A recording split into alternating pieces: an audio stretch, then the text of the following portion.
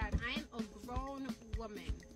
I'm not a little girl anymore. I'm 30 years old, like 35 about to be 40. I'm a grown woman. I know. I have a man. He takes care of me. I take care of him. Things are different now. No, I'm not playing with you. I'm serious. You can't be telling me what it is. That...